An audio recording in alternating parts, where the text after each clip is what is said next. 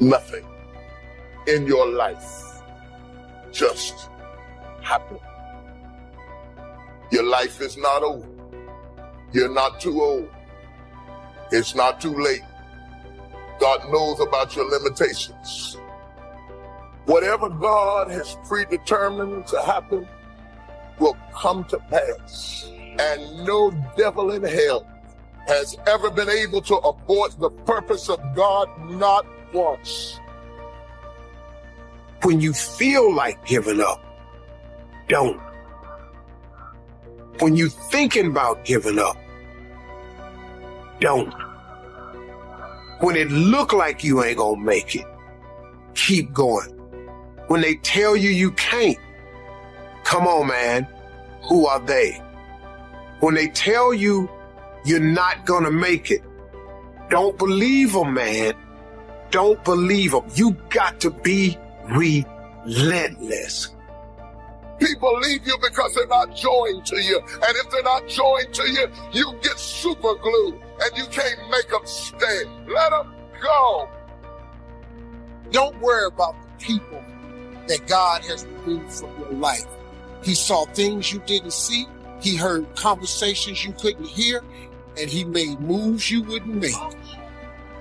We all have things happen to us in life that we don't understand. We worked hard, but we didn't get the promotion. Or people that have turned on us. It's easy to live frustrated, fight against everything we don't like. We think that it's holding us back. But Psalm 119 says, everything serves his plan. The betrayals are serving his plan. The person that walked away is serving his plan. If that wouldn't have happened, you couldn't reach your destiny. The person that walked away wasn't a coincidence. It was God moving them away. We need to see difficulties in a new light. You can't reach your destiny without opposition, without betrayals. Why are you upset over something that's designed to move you forward? Don't give up. Don't give up. Stay in it. Stay focused. Quitting guarantees the failure. Once you quit, it rules out any chance of succeeding. The mere waking up every day, putting the next foot in front of the next foot, at least keeps you in the game. But you can choose in the midst of all of this that's going on to be happy in spite of life's challenges. See, a lot of us, because of our limited vision of ourselves, a lot of us who begin to focus on problems and enable them to overwhelm us, we begin to think that we have no options. We begin to believe that there's no way out. Well, guess what? There's always a way. Where there's a will, there's a way. We have two primary choices in life. We can either accept conditions as they exist, or we can take the responsibility to change them. See, a lot of people want to exempt themselves from taking responsibility. All they want to do is talk about the problem. Every time you see them, they'll tell you their story over and over and over and over again. No, no. You want to take responsibility for your life. I got me here. I can get me out of this. And I'm getting out. I'm not going to be a volunteer victim. I'm unstoppable. This will not get me down. You've got to make those kind of declarations to yourself. I have never met anybody who became incredibly successful in any area of their life until they had suffered and sweated and sacrificed and kept their focus and fought through tears and trials and tests. And if you have a dream and you commit to it, it will come to pass. You must have patience and engage in consistent action. We live in a world, ladies and gentlemen, where people want instant gratification. They want it right now. No, it's simple, but it's not easy. It's a system that if you work the system, it works if you work it. But make no mistake about it, it's hard. And you are the determining factor.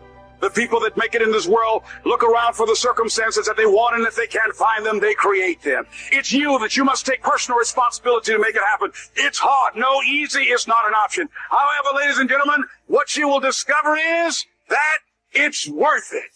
Write down five reasons of why it is worth it for you to become a diamond, to experience that level of achievement. What is it that will give you the drive? What is it that will ignite the courage in you to get up and come back again and again and again? How is it that you would be able, what reasons that can tap in to that deep down feeling that goes to your gut, that no matter how many times you get knocked down, that you're coming back? All of us are in like a little sailboat. And it's not the blowing of the wind that determines your destination, it's the set of the sail. So chop this phrase down. It's one of the best to understand. Kids need to understand it. The same wind blows on us all. The wind of disaster, the wind of opportunity, the wind of change. The wind when it's upside down, the wind when it's favorable and unfavorable. The same wind blows on us all. The economic wind, the social wind, the political wind. The same wind blows on everybody. The difference in where you arrive in one year, three years, five years, the difference in arrival is not the blowing of the wind, but the set of the sail. And that's what learning is all about, to set a better sail this year than last year. To set a better sail. The first six years of my economic life, I wound up broke. Second six years, I wound up rich. You say, well, the Democrats must have finally gotten power. No. No. It was not a political change. Here's what changed the second six years of my economic life. It was my philosophy that changed.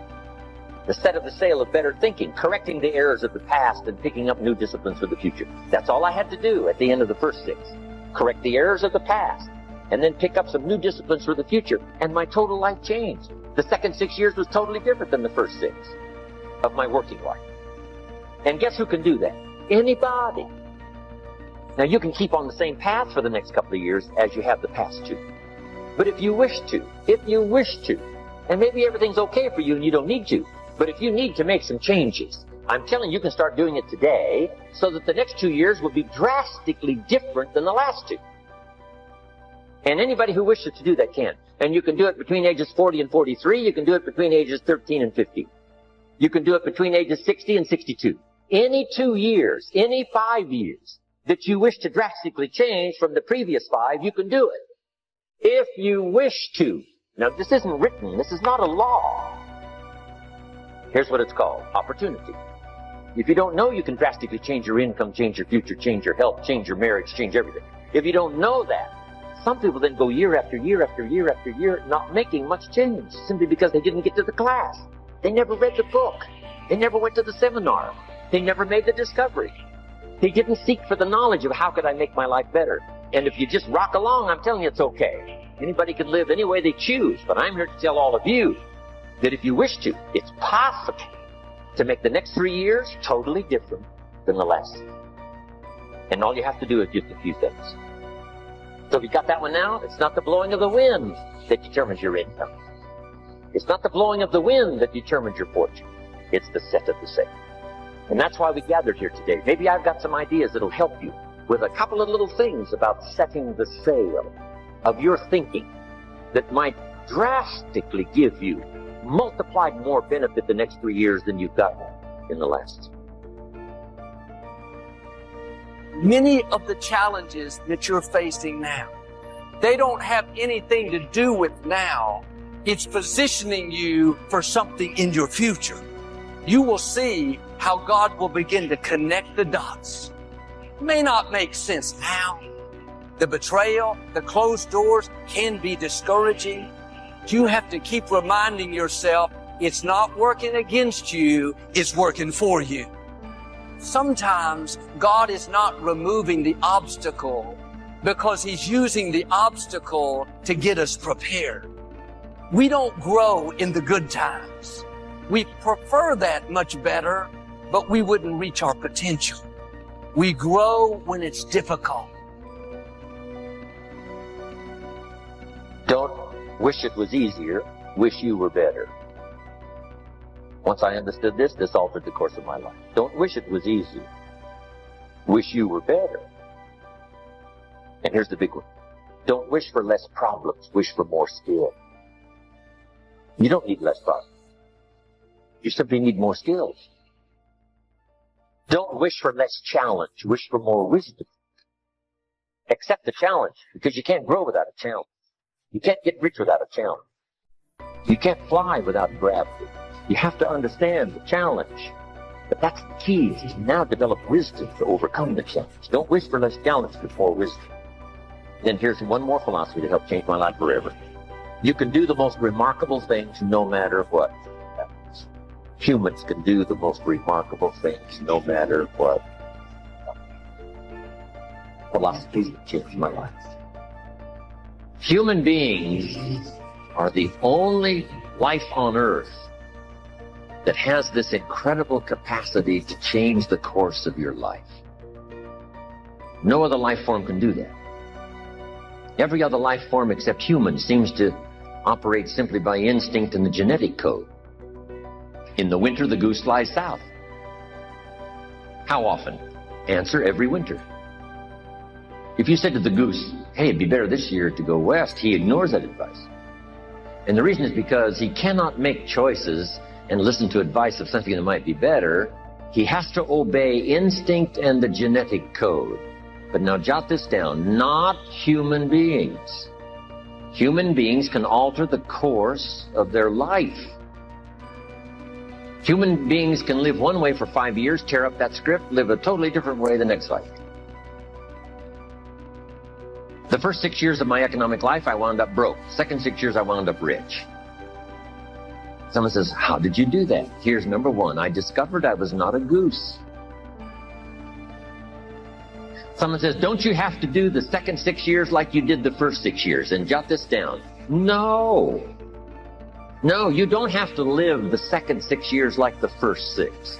You can use all the information and all the advice and repairing all of your mistakes and adopting a new and refined philosophy so that the next six years can be totally different than the last six.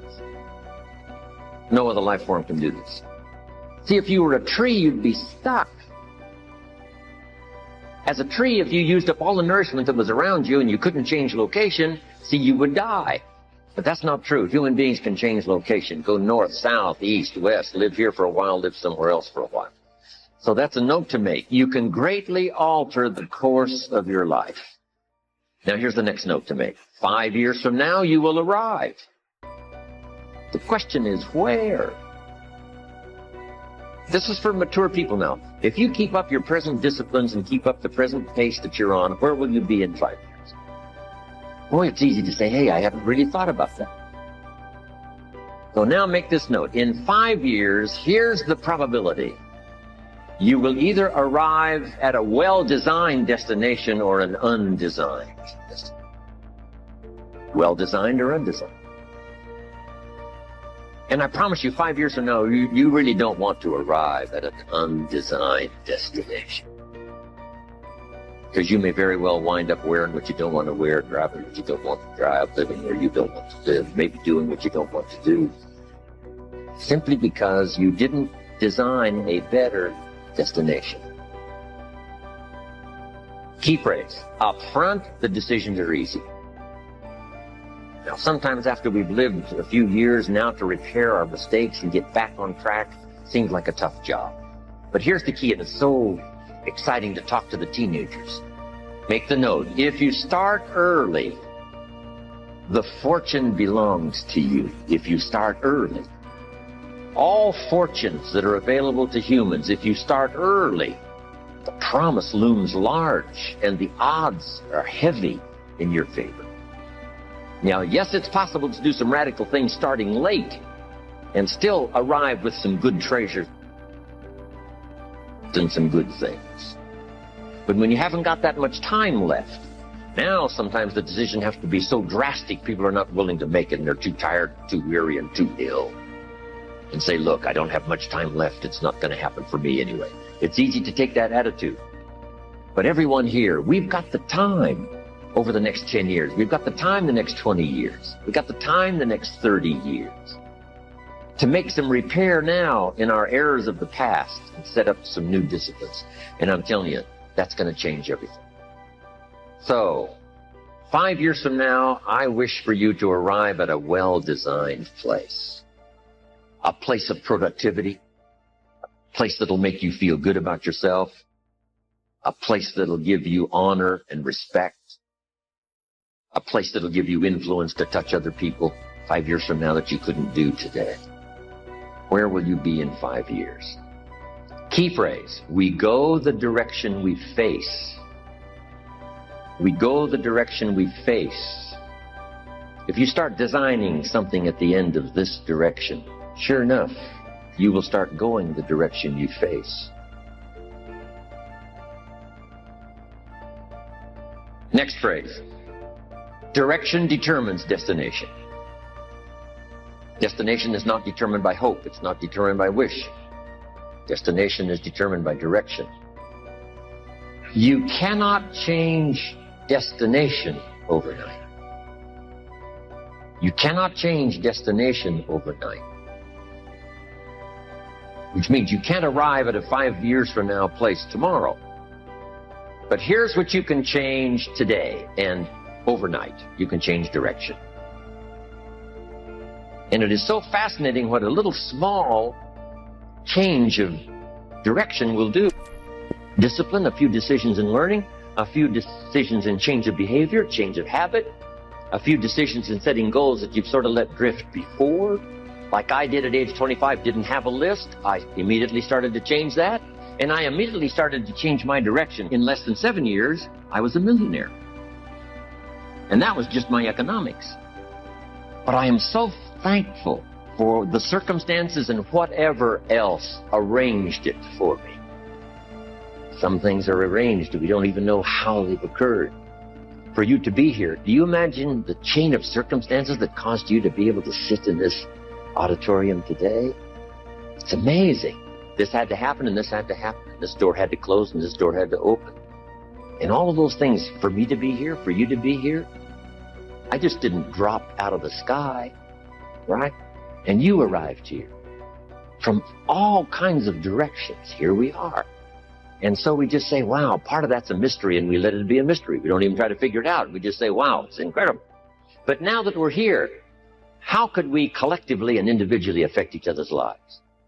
It's by doing just what we've done study, learn, teach, shake hands, trade stories, and do all the stuff.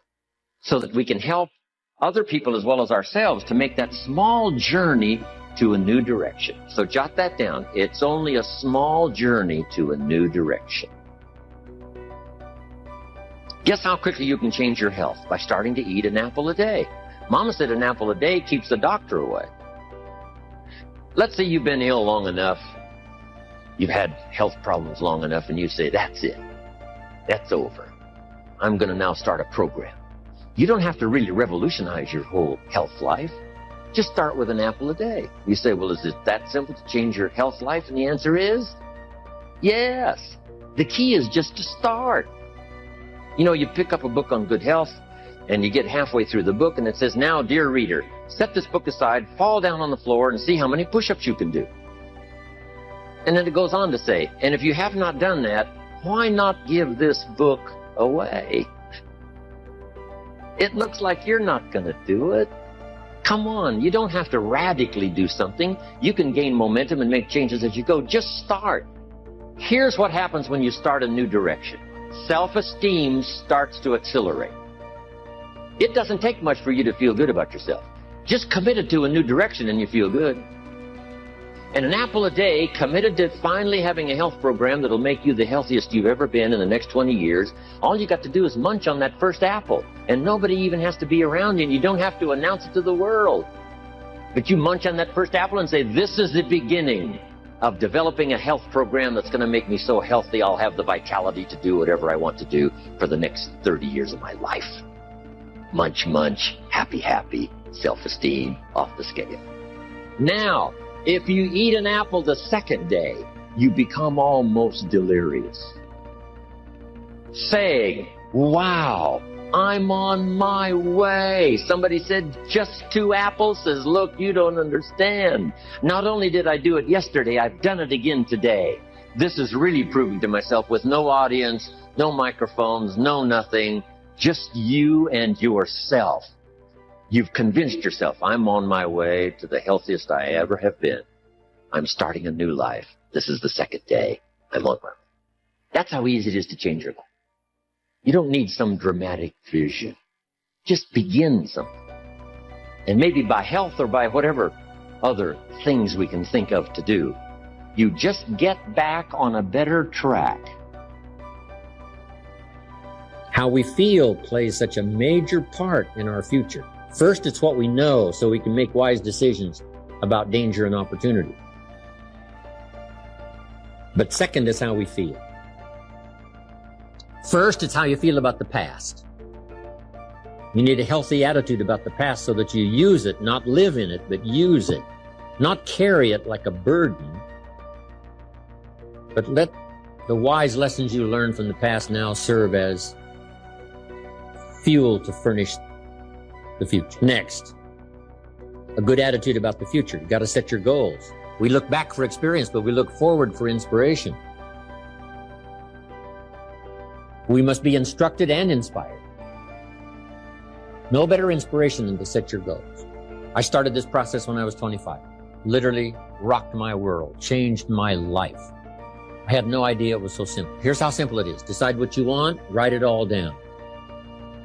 Make a list of the people you want to meet. Make a list of the books you want to read. Make a list of the classes you want to take. Make a list of the skills you want to learn. Make a list of the cities you want to visit. Make a list of the investments you want to have. Just make these lists. Here's the next key now. Start checking them off. Put a lot of little things on some list so you can start checking off something right away. That's part of the fun. Here's what's next. If you check off something major, celebrate because that inspires you to make a longer list of goals. And put everything on your list, little things, insignificant to someone else, important to you. I put a little revenge on my first list. My mentor said it was healthy. Some of the people who said I couldn't succeed, kid from the farms of Idaho, they went on my list. Couldn't wait to get my new car, drive it up on their lawn. Say, oh, pardon me, here's the money to have it fixed. Just little satisfaction. My Japanese friend, Toro Ikeda, San Jose, California, put on his first list, a Caucasian gardener. Way back then, everybody had a Japanese gardener. Everybody, Japanese gardener. Said, I'm Japanese. I'm going to have a Caucasian gardener. okay, little satisfactions, right? Set your goals. Decide what you want. Write it down. Start checking them off. It's powerful stuff. Next, it's how you feel about everybody. If you want to be a leader, true leader, entrepreneur of the highest order, well respected, unique in your field, here's number one, how you feel about everybody. And this is philosophical as well. You cannot succeed by yourself. So a unique sense of appreciation of everybody goes with the territory of leadership.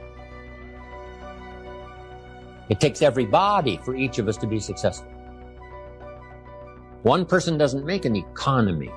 One person doesn't make a symphony orchestra. It takes everybody.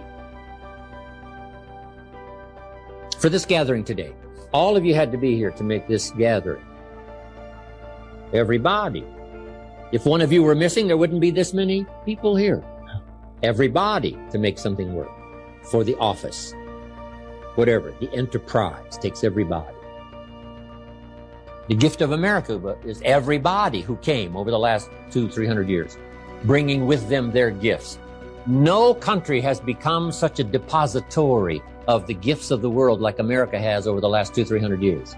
People coming, bringing their gifts. Gift of language, gift of learning, gift of politics, gift of government, gift of medicine, gift of healing, gift of music, gift of the work ethic, all this came in steady streams from all over the world, making us unusual because of the gifts that were brought. And to understand that and appreciate it now gives you open access to the market that's available to make your fortune. Now, what I love to do is go back where these gifts came from. Not long ago, I was in Rome, had a thousand people in my class. Someone suggested Jim Rohn loves the music of Andrea Bocelli, the blind opera singer from Italy. So when they introduced me, I walked to the podium and all 1,000 of these Italians stood up and sang for me one of Andrea Bocelli's songs. In true Italian style. Here's I described it to my uh, grandchildren later. I said, here was the scene a choir of a thousand and an audience of one. And that was me. I thought, here's where some of these gifts came. The gift of poetry. The gifts. So learn to appreciate the gifts. Now, the last attitude is how you feel about yourself. Nothing more powerful than self-esteem, which creates self-confidence. The greatest steps towards success come from self-confidence. And that comes from self-esteem, doing what you know you should so that at the end of the day, you have high, high self-esteem. If I could give the children of the world a box for Christmas for every day, I'd give them a giant box of self-esteem. And they'd open it up and see that it doesn't make any difference what you wear, who you are, what you've done, what you own, what you drive. It's how you feel about what you're doing at any given moment in time. Self-esteem is the deep down inside the skin feeling of your own worth. And that's why, as the second winning attitude, it is the single most important quality, in my opinion. It's the internalization of value. Doesn't make any difference what you're doing. Doesn't make any difference what you did last week. Doesn't make any difference what you're going to do tomorrow, but it, it makes a difference of how you feel about your potential. It's that feeling. You know, I give programs for young people in the summertime, and they come to youth camps, and I've been trying to help young people understand that it's not designer jeans for tots, and it's not uh, what you're driving or what you're wearing, it's how you're feeling. That's why peer pressure is so strong. You want to belong to a winning team. There'll never be a human being more important than another based upon what you got or how you look or what you do. It's how you feel about yourself. And that's the most important thing, the internalization of value, internal standard. Not comparing yourself down or up with anyone, using competition to keep you honest, keep the quality in and the price right, and setting internal standards and giving your wins away. The three greatest fears that I've come in contact with in my life are the fear of rejection, which is the greatest fear that anyone ever has. It's greater than the fear of anything. The fear of being made a fool of in front of your peer group. Why do you suppose the pressure is on young people to dress, act, and look a certain way? It goes right up into adulthood. We're all the same. We're afraid to have people laugh at us. That's why in kindergarten, they raise their hands. They don't care if they're wrong or right. They just want to answer anything. By the time you get to the fourth grade, you begin to worry about people snickering at you and being wrong. By the time you're in high school, you say, I ain't answering. And when you're a grown up, you always play it safe with the same kind of friends who have the same beliefs. And that's the way it is. The fear of rejection becomes the fear of change. I don't want to change and set an example. I might get criticized. I might get ridiculed. And it becomes the fear of success. And through all of my life, the one thing I've been afraid of most is making it, of winning. You know why? Because where we grew up and how we were and how it was, it didn't seem right for us. And so I had permanent potential. I just kind of majored in minors and did things that were tension relieving instead of goal achieving. And I made a lot of excuses. Uh, the fear of rejection, uh, there was always a reason. And success always stood in my way. They asked me to publish a book, so I procrastinated. See, procrastination is caused by the fear of success. You know if you did it, you'd win and you'd be better. So I didn't do it so I could be my comfortable self. And it worked out right. I painted the fence and walked the dog. Next thing I knew, the opportunity passed. It felt so good. Just to be me again. You and I aren't afraid to be rejected because we've learned one thing about self-esteem. Since self-esteem has nothing to do with performance, it has to do with potential. You and I can separate who we are from what we do. And the one thing you learn with high self-esteem in life is you never carry failure forward. Failure is always left where it belongs as a learning experience, a stepping stone instead of a stumbling block, a temporary inconvenience. I've decided the one way you can spot a winner or loser in the making is the way you project yourself, your value. You always project on the outside. Discipline, a few decisions in learning, a few decisions in change of behavior, change of habit, a few decisions in setting goals that you've sort of let drift before. Like I did at age 25, didn't have a list. I immediately started to change that. And I immediately started to change my direction. In less than seven years, I was a millionaire. And that was just my economics.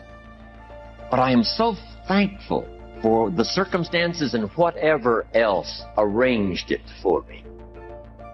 Some things are arranged, we don't even know how they've occurred. For you to be here, do you imagine the chain of circumstances that caused you to be able to sit in this auditorium today? It's amazing. This had to happen and this had to happen. This door had to close and this door had to open. And all of those things, for me to be here, for you to be here, I just didn't drop out of the sky, right? And you arrived here. From all kinds of directions, here we are. And so we just say, wow, part of that's a mystery, and we let it be a mystery. We don't even try to figure it out. We just say, wow, it's incredible. But now that we're here, how could we collectively and individually affect each other's lives? It's by doing just what we've done study, learn, teach, shake hands, trade stories, and do all this stuff. So that we can help other people as well as ourselves to make that small journey to a new direction. So jot that down. It's only a small journey to a new direction. Guess how quickly you can change your health? By starting to eat an apple a day. Mama said an apple a day keeps the doctor away. Let's say you've been ill long enough, you've had health problems long enough, and you say, That's it. That's over. I'm going to now start a program. You don't have to really revolutionize your whole health life. Just start with an apple a day. You say, well, is it that simple to change your health life? And the answer is yes. The key is just to start. You know, you pick up a book on good health and you get halfway through the book and it says, now, dear reader, set this book aside, fall down on the floor and see how many push-ups you can do. And then it goes on to say, and if you have not done that, why not give this book away? It looks like you're not going to do it. Come on, you don't have to radically do something. You can gain momentum and make changes as you go. Just start. Here's what happens when you start a new direction. Self-esteem starts to accelerate. It doesn't take much for you to feel good about yourself. Just commit it to a new direction and you feel good. And an apple a day committed to finally having a health program that'll make you the healthiest you've ever been in the next 20 years. All you got to do is munch on that first apple. And nobody even has to be around you and you don't have to announce it to the world. But you munch on that first apple and say, this is the beginning of developing a health program that's going to make me so healthy I'll have the vitality to do whatever I want to do for the next 30 years of my life. Munch, munch, happy, happy, self-esteem off the scale. Now, if you eat an apple the second day, you become almost delirious. Saying, wow, I'm on my way. Somebody said, just two apples? Says, look, you don't understand. Not only did I do it yesterday, I've done it again today.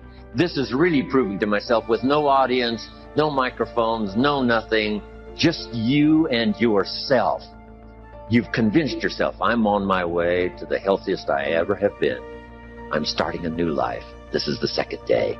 I'm on my way. That's how easy it is to change your life. You don't need some dramatic vision. Just begin something. And maybe by health or by whatever other things we can think of to do, you just get back on a better track